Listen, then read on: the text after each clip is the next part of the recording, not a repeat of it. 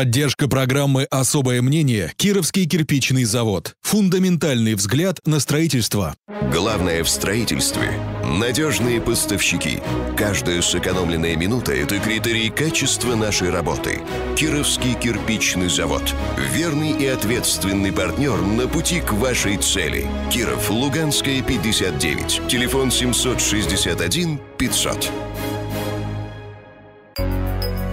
Особое мнение на 101 FM. Добрый день, это программа «Особое мнение». У микрофона работает Светлана Занько. Свое особое мнение сегодня высказывает экс-депутат Кировской городской думы Алексей Кузнецов. О, Кузьмин, прости, пожалуйста, Леш. А, добрый день. Добрый день. Ну что, российская сборная вышла из игры. Чемпионат, тем не менее, мира по футболу продолжается. И я предлагаю продолжить обсуждение футбольной и спортивной темы. Ну, во-первых, чтобы нам все было понятно, и мне, и слушателям. А, скажи, пожалуйста, являешься ли ты футбольным фанатом? Ну, мне кажется, на мой взгляд, футбольные фанаты это э, те, кто болеют на трибунах с фаерами и с транспарантами. Ну, это такое образное представление о фанате. Я все-таки, наверное, футбольный болельщик. Я переживаю за свою любимую сборную, переживаю за московский «Спартак». Могу проагитировать свою любимую команду, болею за нее с 6 лет. В свое время дедушка Э, подсадил меня на этот футбольный клуб, и с тех пор я слежу за этой командой, слежу за результатами, за э, игроками и так далее. Э, если мы сейчас будем обсуждать тему выступления нашей сборной на чемпионате мира, то, конечно, хотелось бы отметить, что Э, изменилось отношение и мое, и, наверное, всех россиян к нашей сборной. Э, тот скептицизм, э, та неуверенность в игроках, которая была ранее, она, наверное, перечеркнулась матчем с Испанией, ну и матчем с Хорватией в том числе. Несмотря на то, что наша команда проиграла, но все-таки, конечно, выражаю слова благодарности нашим ребятам, которые Э, которые играли за свою страну, за свою сборную. Мне очень понравился э, заголовок твиттер-аккаунта официального нашей сборной «Ты у меня одна». Это как текст из знаменитой песни. Но действительно, эта сборная, она у нас одна. Ну, нет у нас больше другой сборной, нет у нас других игроков, к сожалению или к счастью. Но вот она такая, какая она есть. И мы должны любить нашу страну, любить нашу сборную, несмотря на результаты. Но все-таки, э, конечно, хотелось бы увидеть, как э, русские быстро запрягают, долго, долго запрягают и быстро едут. Очень, конечно, хотелось этого увидеть. Хотелось, чтобы наша сборная оказалась неожиданно на финале, ну и победила какую-нибудь бельгийскую или английскую сборную. Ну, ты удовлетворен результатом э, Тем не менее, безусловно, да. Лично я удовлетворен результатом. Естественно, я, моя семья, мои знакомые все смотрели этот матч, естественно, переживали, плакали, ревели, веселились. А вот ходили ли вы сборной. на фан-зону, которая, мы берем ее в кавычках, там, ну, надо сразу всем сказать, что официальная там фан-зона, она с разрешения ФИФА и так далее, и так далее. Но вот то, что по требованию, э, по просьбам или по требованию мнению кировчан, а, власти городские с помощью правительства области на Театральной площади а, как раз минувшие выходные устроили своеобразную фан-зону для того, чтобы люди могли поболеть за нашу сборную в игре а, против Хорватии. Сам ты был там? Я э, проходил мимо, мимо э, этой площадки. Э, наверное, все-таки фан-зоной эту территорию назвать тяжело. Это все-таки некое публичное место для просмотра футбольных матчей. Я бы так назвал эту площадку. Конечно, организация, естественно, оставляет желать лучшего, потому что это все было очень спонтанно. Но, как в России говорится, лучше поздно, чем никогда.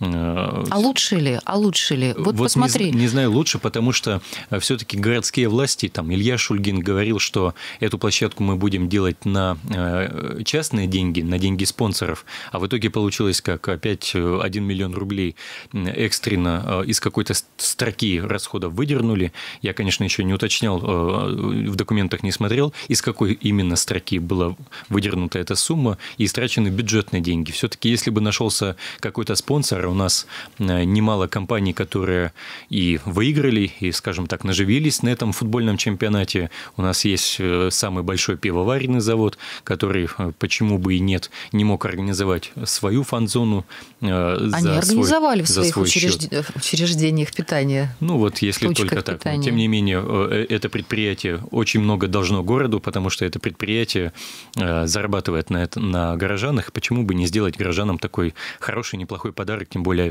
этот же один, там, 2 миллиона рублей для самого крупного Кировская область. пивного налогоплательщика в, нашей, в нашем регионе. Ну, Это, я думаю, не такие деньги. Пивной налогоплательщик тебе и скажет, что мы платим серьезные налоги в белую, в большом количестве, и пускай, а, собственно говоря, эти деньги использует правительство по своему усмотрению, в том числе и на такие цели. Возможно, но все-таки хочу отметить, что эти э, большинство налоговых платежей попадают в федеральный бюджет, а не в региональный, не тем более в муниципальный. Поэтому... Все-таки правильная ли была реакция властей на то, чтобы потратить эти деньги и организовать организовать э, Реакция зону для просмотра? Реакцию властей на, э, на этот общественный призыв, а это было именно общественным призывом, когда люди обратились к городским властям через социальные сети, может быть, устно, письменно, э, для того, чтобы все-таки дайте людям в каких-то в массовых условиях посмотреть футбол любимой команды, и все-таки городские власти откликнулись и какую-никакую территорию, площадку организовали. Но все-таки, и повторюсь, помимо, помимо этого, вот по поводу поводу этого светодиодного экрана, но давным-давно уже городу пора приобрести этот светодиодный экран и выставлять его на все значимые события и мероприятия. И не платить за аренду непонятным компаниям э, через э, непонятные дома культуры и так далее. То есть не надо давать, э, зарабатывать на этом бизнесменам, надо городу эффективно использовать свои бюджетные ресурсы. Ну, либо давать бизнесменам зарабатывать, но при этом а, а, с учетом интересов граждан. В том числе, может быть, угу. так. Хорошо. А еще один аспект проведения чемпионата мира по футболу. Давай посмотрим вот с разных сторон теперь, да. Считаешь ли ты, что чемпионат даст толчок развитию профессионального футбола России, а может быть и массового? Что теперь? Я вообще более чем уверен, что э, результаты и итоги этого чемпионата подстегнут э, родителей отдавать э, своих мальчишек и даже девчонок в футбольные секции детские. И я искренне надеюсь, что нас, наши футбольные секции, ДЮСШ-5, Факел, Прогресс там, и другие, они сейчас с 1 сентября столкнутся с такой проблемой, что некуда будет, будет записывать детей. Мне они, кажется, у них и так очередь. Мне кажется, повторится секции. ситуация с Сочи 2014 2014, когда э, после этого события э, массово родители стали записывать детей в зимние спортивные виды, э, в зимние виды спорта, в секции детские. Поэтому искренне надеюсь, что все-таки футбол будет все больше популяризирован в нашем регионе, в нашем городе и в нашей стране. Да, популяризирован-то популяризирован. А, а есть ли а, места, где заниматься ребятам футболом? Потому что, вот как я уже сказала, очередь в секции по футболу, она и была до сих пор. И есть сейчас, а может быть, увеличивается, вот с твоих слов, если так судить, можно сказать. Где заниматься? Вот депутат Журавлев, действующий депутат городской думы Владимир Вениаминович Журавлев в своем особом мнении на прошлой неделе предложил построить рядом с легкоатлетическим манежем, который сейчас строится, Вересников футбольный стадион. Что скажешь? Я скажу э, вообще по поводу э, спортивной инфраструктуры в нашем городе, э, может быть, следующие слова, что как раз забота городских депутатов, забота муниципальных властей и региональных властей увеличивать финансирование на детский, массовый или профессиональный спорт. Вопрос заключается в том, э, на какие цели будут направлены э, новые увеличенные, э, увеличение финансирования. Либо это поездки на соревнования, либо это на инфраструктуру. Так вот, что касается инфраструктурных проектов, то у города на сегодняшний день нет денег даже на латание дыр в действующих, в действующих спортивных объектах. Единственное, на что можно рассчитывать, это на попадание в федеральные спортивные программы, в программы международные в рамках ФИФА. И вот это как раз задача муниципальных властей. если муниципальным властям интересен развитие, развитие детского, массового и профессионального спорта, то все-таки надо, все, надо уже выходить из своих чиновничьих кабинетов, делать заявки, э, участвовать в международных проектах, и тогда э, инфраструктура в Кирове будет подтягиваться. А просто так заявлять о том, что э, давайте мы построим этот объект или давайте мы, как отчитывается городская спортивная власть, у нас есть управление по молодежи, есть. молодежи и спорту. Есть региональные. И они отчитываются в том, что почти 70% населения города Кирова занимаются массовым спортом. Вот вы верите в, в эти цифры? Я тоже не верю. И когда э, вот из потолка берутся эти никому непонятные статистические данные о том, что, оказывается, больше половины населения нашего города занимается массовым спортом, у меня создается впечатление, что у нас спортом э, занимаются занимаются чиновники на бумаге. А, и поэтому надо спорт популяризировать, поэтому нужно городским депутатам добиваться изменения э, в городском бюджете, увеличивать э, строки на содержание спортивных объектов, увеличивать финансирование детского массового профессионального спорта. Только так мы получим профессиональные команды, а не те команды, которые сейчас, к сожалению, у нас можно сказать, канули в лету. Это и Родина, и Динамо, и Олимпия. Ну, в том числе и поэтому. Вот смотрю, у нас минута до перерыва остается. Все-таки даже в, э, во властных структурах э, подразделения, связанные со спортом, неразрывно связаны с молодежной политикой. Очень странное сочетание, если честно. А мне кажется, что оно вполне может быть и закономерно, потому что если бы развивался массовый детский и юношеский спорт, то вот эта задача по, э, по увлечению молодежи вот в этом городе, да, чтобы они оставались, там как-то развивались, получали лифты, вполне себе закономерно было бы.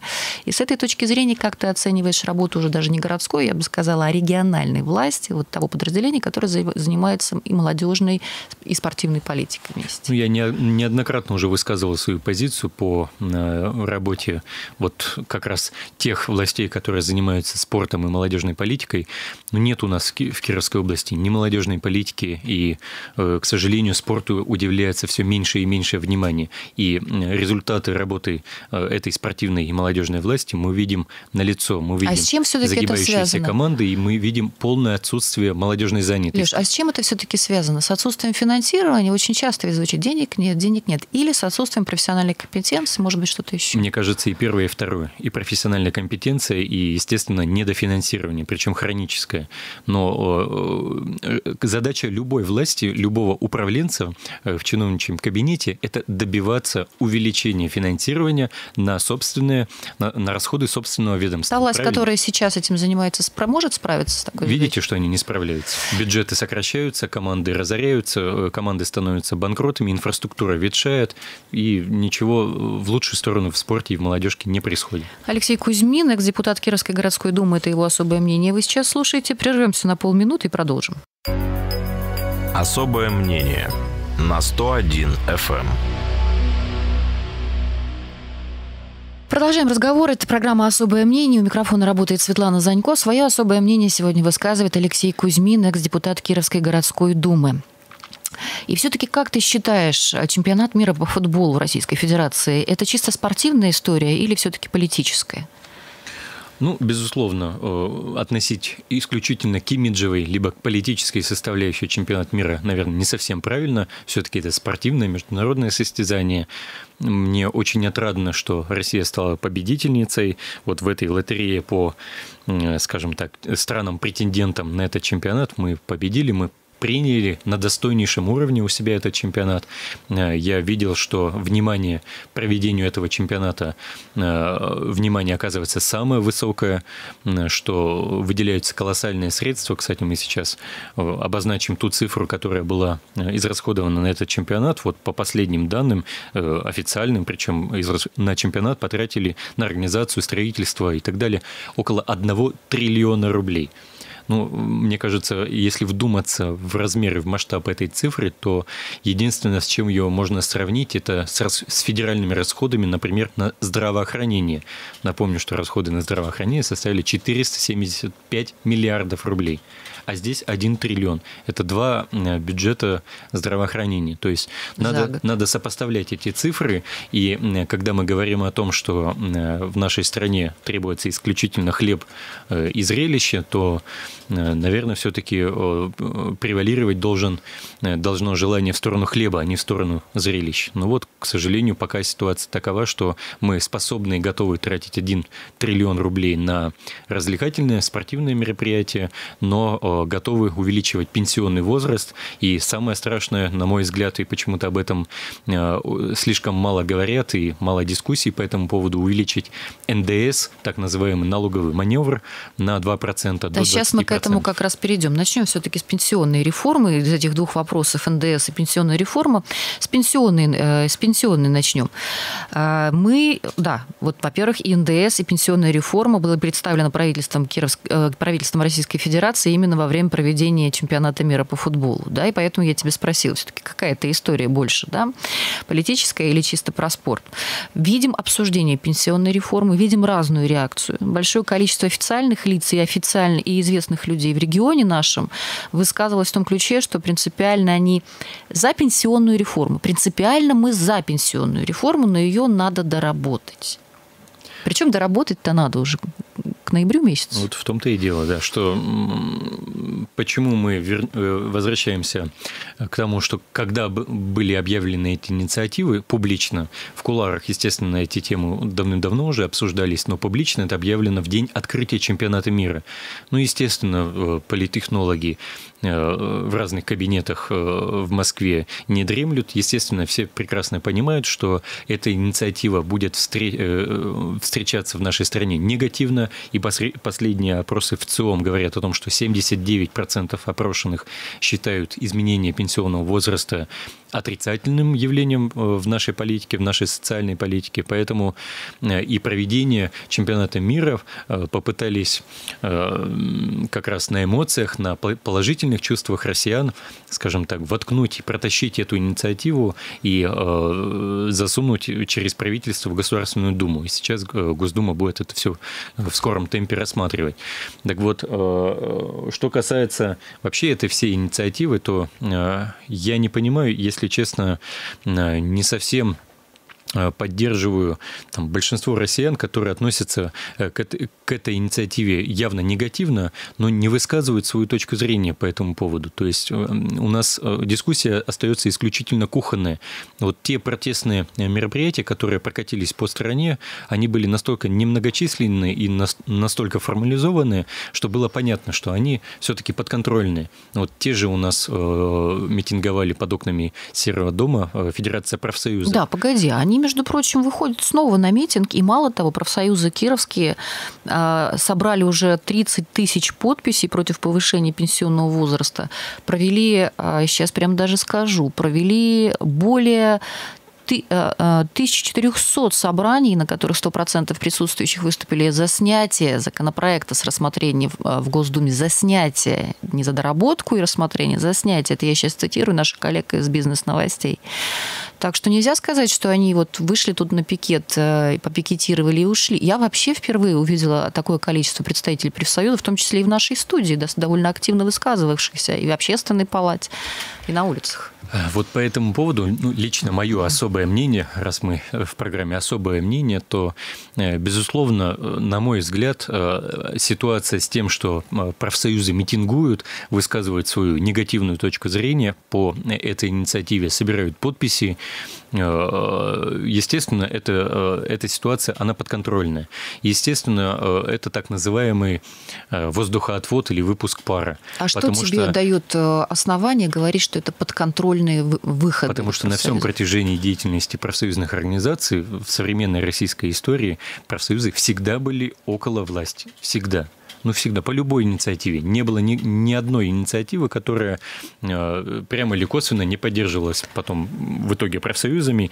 Или, э, например, давайте мы вернемся к, э, к инициативе о монетизации льгот, когда профсоюзы также стали катализаторами, якобы катализаторами оппозиционных и протестных действий. Но к чему это привело? Разве монетизация льгот была отменена? Разве она была снята из Госдумы? Разве она отозвана или изменена правительством? Нет. Это все были воздухоотводы, поэтому э, очень странно наблюдать вот эти, э, к сожалению, к сожалению, протестные э, действия подконтрольные. И когда э, действительно учителя, педагоги, э, сотрудники здравоохранения искренне против этой пенсионной реформы, повышения пенсионного возраста, потому что это непосредственно каждого э, практически россиянина касается, выходят на эти митинги, пытаются доказать и донести свою позицию, но, к сожалению, на мой взгляд, к сожалению, э, они находятся под неким колпаком, управляем колпаком неких протестных оппозиционных действий. И это плохо. Это говорит о неспособности сегодняшней оппозиции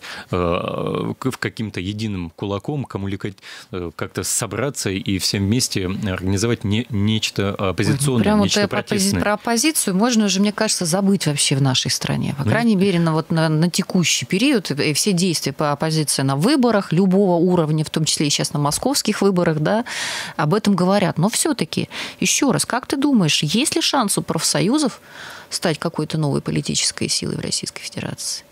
Безусловно, э, наверное, э, создатели и инициаторы, и политтехнологи э, в московских кабинетах, они осознают ту потенциальную роль и те потенциальные возможности, которые есть у профсоюзов. Вы не забывайте, что там профсоюзное движение до сих пор сильны, например, в Европе, и есть масса примеров, когда профсоюзы добиваются своего.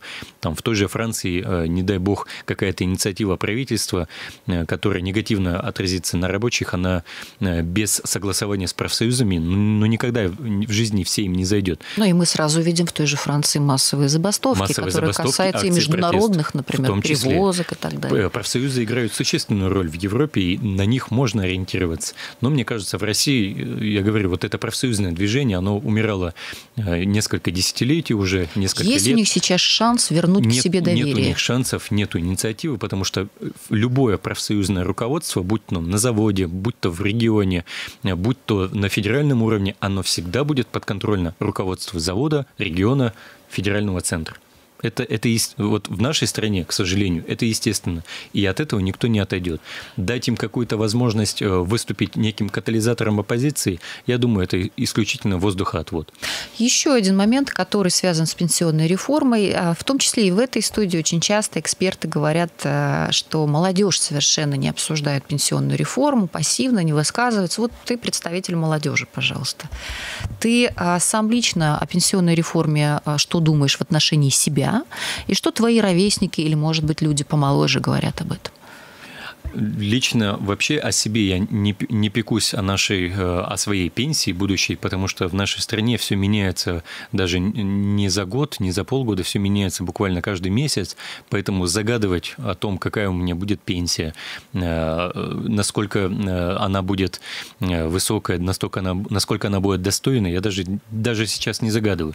Если ты хочешь молодой и целеустремленный, если ты хочешь жить в старости достойно, зарабатывай сейчас делай деньги сейчас. Иначе в нашем государстве не, не на что рассчитывать. Вы видели, как э, были заморожена э, накопительная часть пенсии, когда люди копили, откладывали, э, делали какие-то взносы, и в одномоментно, и уже до сих пор, уже на протяжении, по-моему, пяти лет накопительная часть пенсии заморожена. Ну, что значит заморожена? То есть государство, по сути, национализировало. Ну, в общем, ничего ведь, получается, не изменилось. Ничего не Есть изменилось. реформа, нет реформы. Не а, Поэтому... Ты считаешь, что надо надо рассчитывать только на Рассчитывать себя. Исключительно на себя. Это первое. А второе, э, что, на что бы я хотел обратить внимание, и очень странно, что люди почему-то об этом не думают. Вот уже на протяжении 18 лет э, власть не добилась того, чтобы э, средняя заработная плата была настолько высока, чтобы работающие россияне смогли содержать действующих пенсионеров.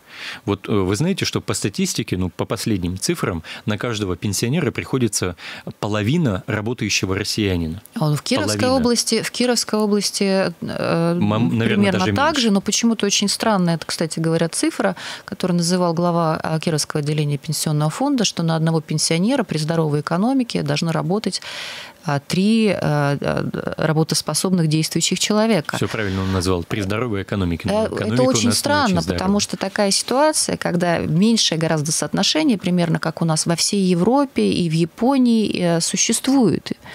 Поэтому там тоже а, вводятся различные пенсионные вот изменения. В том числе, э, в том числе. Но у них из, экономика называется одна здоровой. Из проблем, одна из проблем э, дефицита колоссального дефицита пенсионного фонда – это э, проблема в том, что пенсионный фонд не умеет и не может, и, наверное, не хочет зарабатывать на пенсионных накоплениях. Вы знаете, что норвежский пенсионный фонд, например, является одним из самых доходных предприятий во всем мире. Они вкладывают э, пенсионное накопление норвежцев в ценные бумаги по всему миру. Они зарабатывают колоссальные средства на старость норвежцам. И любой норвежец знает, что отложив там, э, определенную сумму сегодня, он получит эту сумму, умноженную в несколько десятков раз потом. Вывод. Вывод. Первое. Пенсионный фонд не умеет, не хочет, не может зарабатывать. Второе.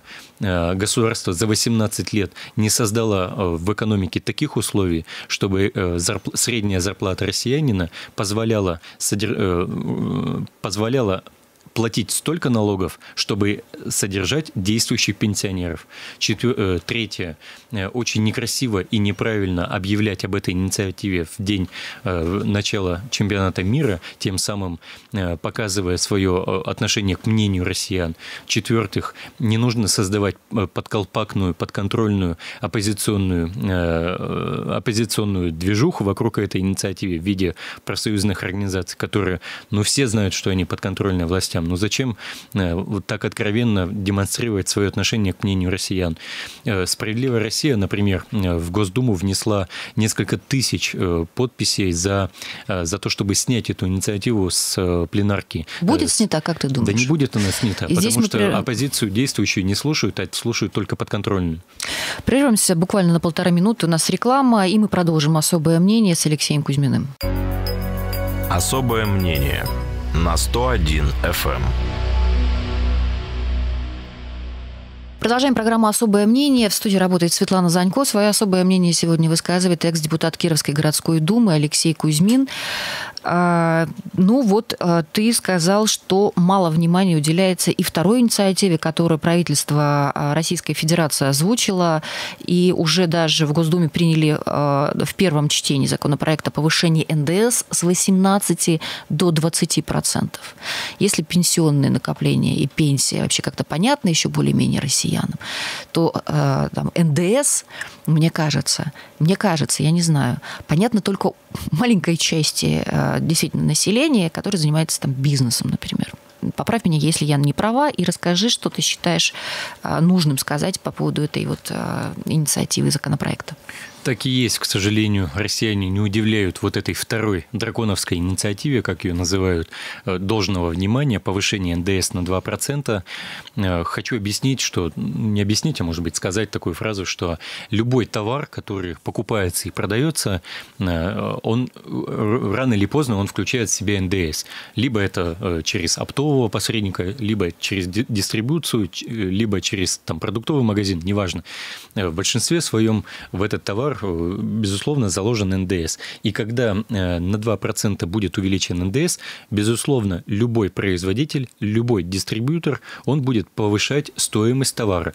То есть эта стоимость ляжет э, в карманы, на карманы бизнеса, как оптового покупателя товаров, и рядового россиянина, как розничного покупателя этих товаров. И 2%, вы, наверное, думаете, что это такие совсем ничтожные, ничтожные ничтожная наценка, ничтожные деньги, но на самом деле в масштабах страны это колоссальные, э, колоссальные деньги, и правительство планирует выручить от этого э, налогового так называемого маневра э, порядка 630 миллиардов рублей. И э, вот представители, например, Единой России в Государственной Думе, э, пытаясь защитить эту инициативу, а они вынуждены сейчас защищать, защищать эту инициативу, потому что она была спущена с правительства лидером этой партии Медведевым, э, что пенсионный возраст, что ставка НДС.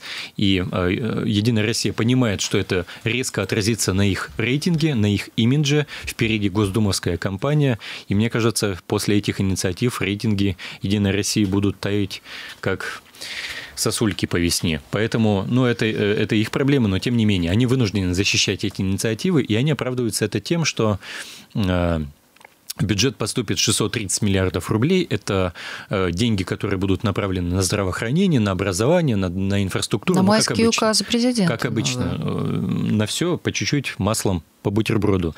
Но э, мне кажется, что э, есть другие инициативы, и они обсуждаются уже достаточно давно, они аргументированные, в том числе «Справедливая Россия» уже не один э, год добивается изменения, увеличения, прошу прощения, введения прогрессивной шкалы налогообложения.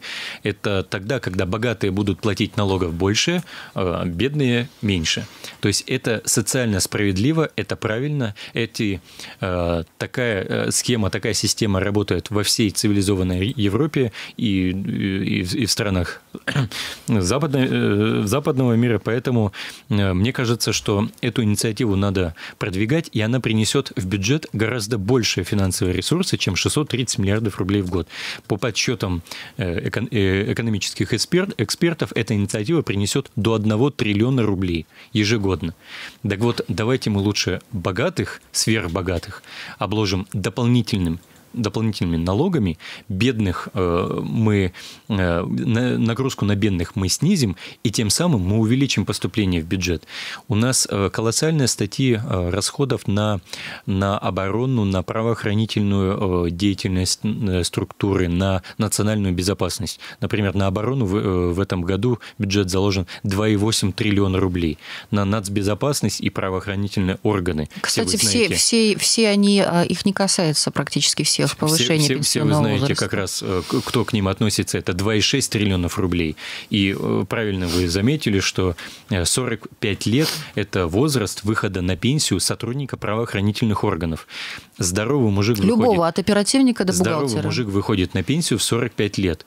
А, может быть, еле, еле перебирающий ноги пенсионер, уже который там в 60 Э, с лишним лет э, испытывает колоссальные проблемы со здоровьем, не может себе позволить пенсионное содержание, не может себе позволить отдохнуть, съездить на дачу, съездить э, в Сочи, в Крым и на эту пенсию. Но вот здоровый мужик, 45 лет, причем с, с колоссальной физической подготовкой, ну вот выходит на пенсию правоохранительных органов, это не коснулось. Возвращаемся к НДС. Ты считаешь, так же, как и в пенсионной реформе, и второе чтение пройдет законопроект и будет принят? А это финал или еще будет повышаться НДС? По-моему, этот маневр предполагает э, до 20% увеличить, хотя ранее изначально, э, начиная с 2000-х годов, и э, президент Владимир Путин, и правительство неоднократно заявляли, что НДС повышать не надо, нужно найти другие пути, нужно, наоборот, НДС понижать. Но мне кажется, после того, как правительство запустило под шумок эту инициативу, эта инициатива в Госдуме, как и пенсионная реформа, будет принята очень быстро, быстро. Я думаю, до летней сессии Госдума во главе с Володиным быстро разберутся с, с этими инициативами и примут нужное для них решение. Алексей Кузьмин, э, экс-депутат Кировской городской думы в программе «Особое мнение». Дан старт формирования нового состава общественной палаты Кировской области. И даже уже завтра последний день подачи документов по спискам губернатора и по спискам от ОЗС. Ты подал заявление, скажи? Я сегодня, либо завтра буду подавать это заявление от э, общественной палаты, которая э, выдвигает мою кандидатуру в общественную... Э, от общественной организации, которая будет выдвигать мою кандидатуру в общественную палату. Мне кажется, что роль общественной палаты в нашем регионе усиливается. Она проявляет все большую активность. Мне это нравится, мне это импонирует. Почему бы не работать, не проявлять свой интерес в этом органе? Тем более, что Э, на носу э, большой выборный год, когда э, будут большие выборы в областное ЗАГС собрание, в Кировскую городскую думу.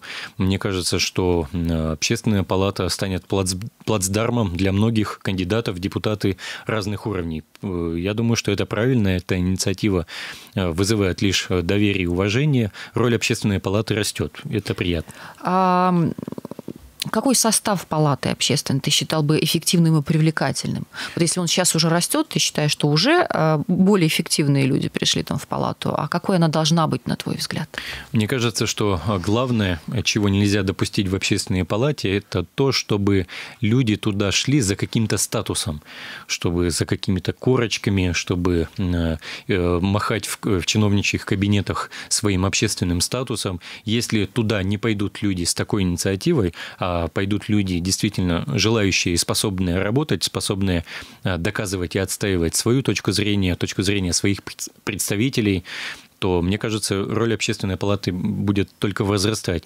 А сейчас, к сожалению, и в действующем созыве общественной палаты все-таки есть стати статисты.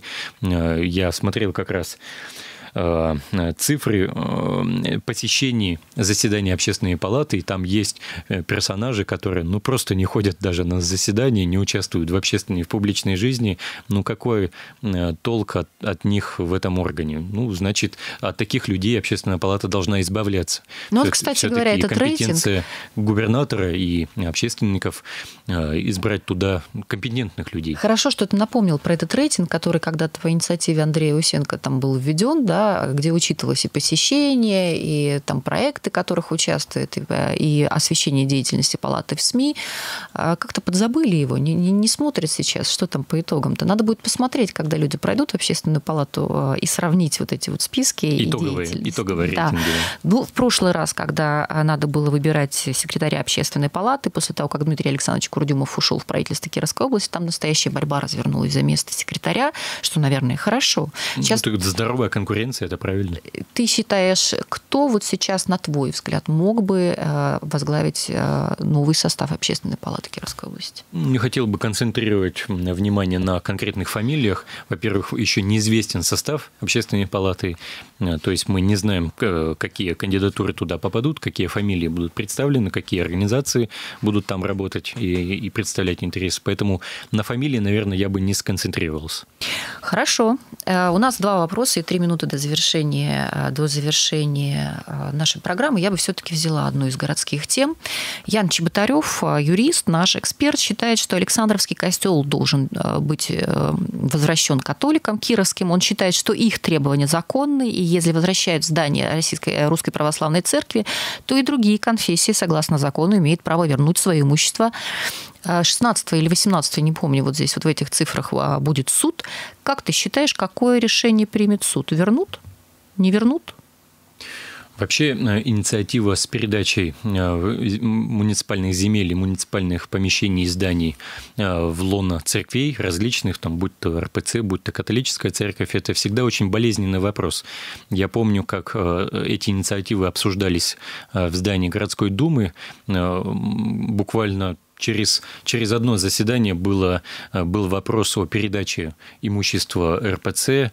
Мы передавали здание на Динамовском проезде, мы передавали здание на, Орло, на Орловской, на Урицковой там, и так далее. Квату? Здание Квату, несколько комплексов. Шесть. Несколько комплексов, Здание. да. Это всегда очень болезненные вопросы, потому что город теряет свое имущество. Он теряет э, помещения, теряет земли и передает их в РПЦ. Как их используют РПЦ? Мы в том числе видим на примере нашего Квату.